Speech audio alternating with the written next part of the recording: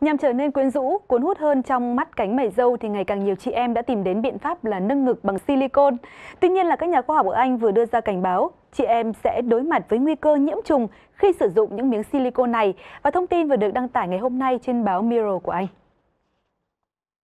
Cơ quan quản lý thuốc và các sản phẩm chăm sóc sức khỏe của Anh cảnh báo chị em không nên tiến hành nâng ngực bằng silicone dạng gel. Lý do là vì các nhà nghiên cứu đã phát hiện trên bề mặt những miếng silicone dùng để phẫu thuật bị nhiễm bẩn. Điều này có thể khiến người nâng ngực sẽ có nguy cơ bị nhiễm trùng.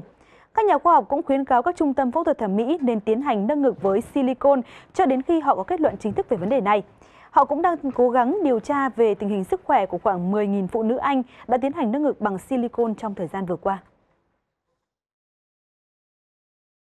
Vâng, đã có rất nhiều những vụ tai nạn liên quan tới những bộ ngực silicone. Ví dụ như là năm 2011 thì nữ diễn viên Kelly Stone thì đã bị tai nạn xe hơi ở trên đường cao tốc ở Texas, Mỹ và cô uh, lẽ ra là không bị chấn thương quá nặng nhưng mà vì bộ ngực bơm quá lớn bị va đập mạnh nên là dẫn tới cô đã phải bị văng ra khỏi ghế và bị chấn thương nặng và tử vong ngay sau đó. Hay như là chuyện uh, uh, một cặp núi đôi của một phụ nữ người Nga tên là Irina đã bất ngờ phát nổ khi mà cô đang ở trên máy bay từ Moscow đến California và theo giải thích của nhân viên y tế thì uh, do trải qua 14 tiếng đường bay dài và sức ép uh, cái áp suất không khí ở độ cao khiến cho bộ ngực nhựa thì đã bị vỡ ra và không chỉ bị hỏng bộ ngực, Irina còn bị mất luôn vài chiếc răng sứ và cô đã phải tiếp tục phẫu thuật thẩm mỹ để uh, chỉnh lại những cái tổn thương đó.